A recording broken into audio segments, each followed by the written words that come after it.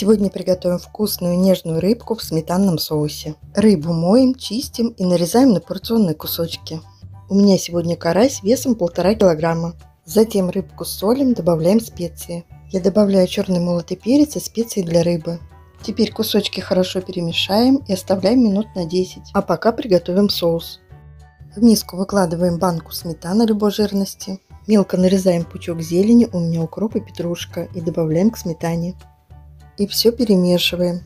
Если сметана густая, как у меня, добавляем немного воды. Теперь перемешиваем, соус готов.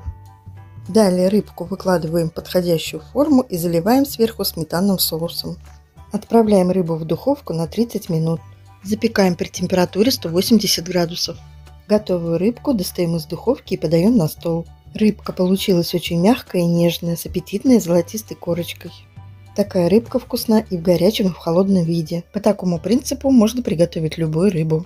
Если рецепт вам понравился, тогда поставьте лайк и подписывайтесь. Желаю всем приятного аппетита и хорошего настроения. Спасибо, что были со мной.